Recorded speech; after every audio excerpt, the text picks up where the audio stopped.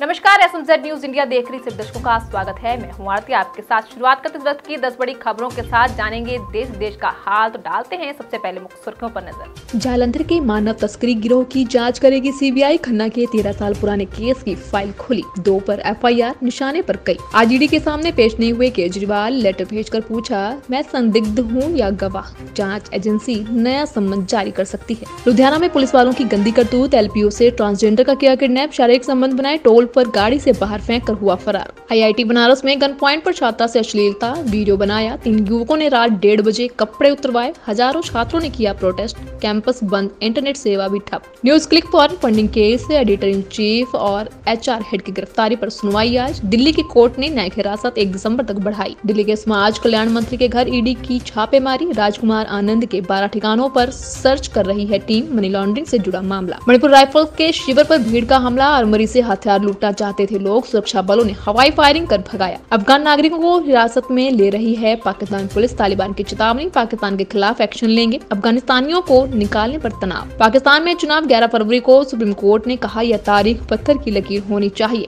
President से बात करें इलेक्शन कमिश्नर। इसराइल का दावा, हमास ने 100 महिलाओं बच्चों को ढाल बनाया। ये जबालिया में आतंकी संगठन के कंपाउंड पर हमला करने से रोक रहे। ये थी अब तक की खास बड़ी खबरें। कल फिर हाजिर होंगी और फिर नई और ताज़ा खबरों के साथ देखते रहिए न्यूज़ इंडिया।